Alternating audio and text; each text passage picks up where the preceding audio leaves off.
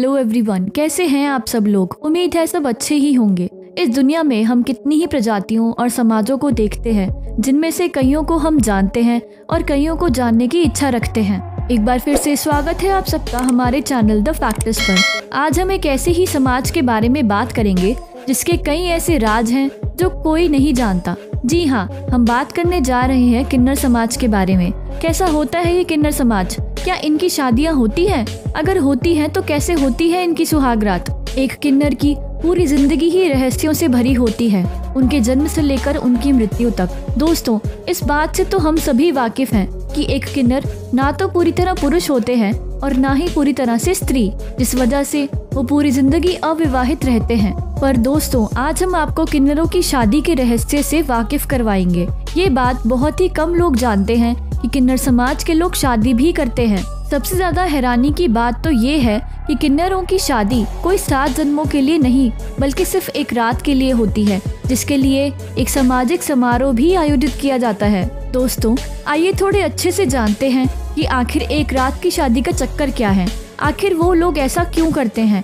और किससे होती है उनकी शादी? किन्नर जिससे शादी करते हैं, वो कोई आम इंसान नहीं, बल्कि उनके भगवान है, जिससे उनकी एक रात के लिए शादी होती है। दरअसल ये है अर्जुन और नाग कन्या उलूपी की संतान इरावन। दोस्तों, अगर आप भी किन्नरों की शादी के समारोह में जाना चाहते हैं तो आपको तमिलनाडु के विल्लुपुरम ज़िले में जाना होगा। जहाँ के कोव गाँव में धूमधाम से किन्नरों की शादी का जश्न मनाया जाता है। इस गाँव में हर साल तमिल नव वर्ष की पहली पूर्णिमा से किन्नरों के विवाह का उत्सव शुरू हो जाता है। ये उत्सव कितना शानदार होता है ये आप ऐसे समझ सकते हैं कि ये 18 दिनों तक चलता है। दोस्तों, आपको बता दें कि सत्रहवें दिन किन्नरों की शादी होती है।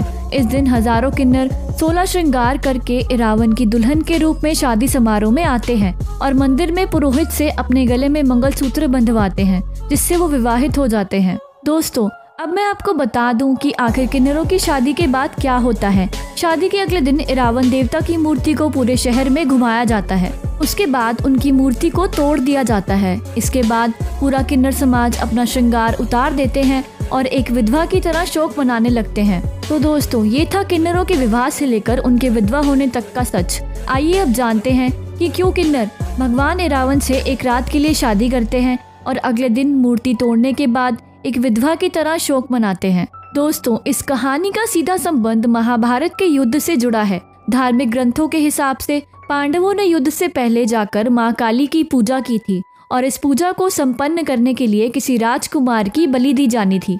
जब बलि की बात आई तो कोई भी राजकुमार आगे नहीं आया। काफ़ी देर बीत जाने के बाद जब कोई बलि की बेदी पर चढ़ने को तैयार नहीं हुआ, तब अर्जुन और नाग कन्या उलूपी के पुत्र रावण आगे आए।